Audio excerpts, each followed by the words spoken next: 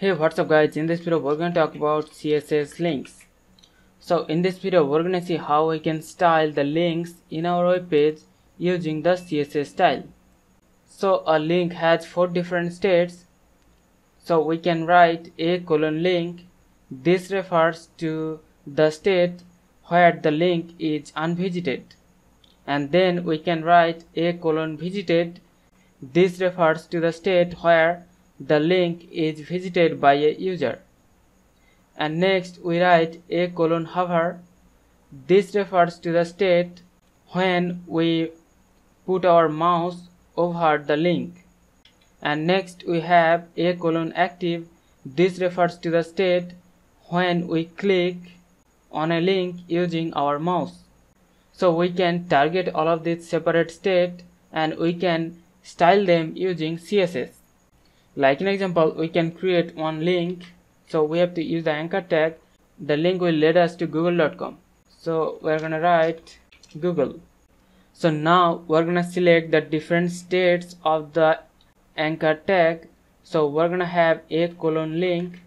So this is the state when the link is not visited. So whenever the link is not visited then we want the color to be green and next we have a colon visited. So this is the state when the link is visited by a user.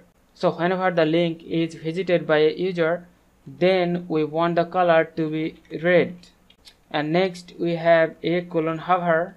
So whenever we put our mouse over the link then we want the color to be blue. Like an example if we hover over the link you can see the color changes to blue. And next we have a colon active. So this is the state the moment we click on the link. So whenever we click on the link we want the color to be yellow. So if we click on the link so the moment we click on the link you can see the color changes to yellow. And also we can use all of those different states and we can apply different text decoration. Like an example one unvisited link will have the text decoration as none. So you can see the underline has gone. And next we have the visited state. So whenever the link is visited then we want the text decoration to be none. But whenever we hover our mouse we want the text decoration to be underlined. And you can see if we hover over the link there is underline below the link. And whenever the link is active then we want the text decoration to be underlined. And also we can add the background color like one unvisited link will have the background color of yellow and one visited link will have the background color of cyan.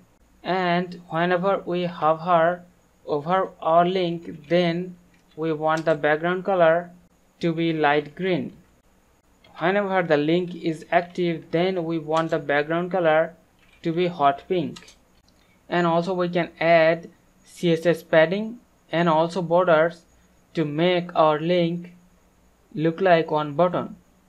So this is the way we can apply different styles for all of the different states of a link. So hope you understand the concept We'll see you in the next one. Thank you.